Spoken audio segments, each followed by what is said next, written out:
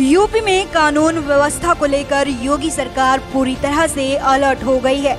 प्रदेश में लगातार IAS, PCS और आईपीएस अफसरों के तबादले हो रहे हैं। वहीं आज सरकार की तरफ़ से 900 सरकारी वकीलों को बर्खास्त किया गया है जिनमें 505 वकील इलाहाबाद में और 336 वकील लखनऊ में बर्खास्त किए गए हैं।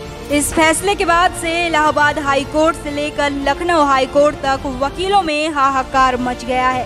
वहीं सस्पेंड होने वाले वकीलों में अपर महाधिवक्ता से लेकर ब्रीफ होल्डर तक के सभी वकील शामिल हैं। सरकार ने बर्खास्ती के आदेश को तत्काल प्रभाव से लागू करने का आदेश दिया है।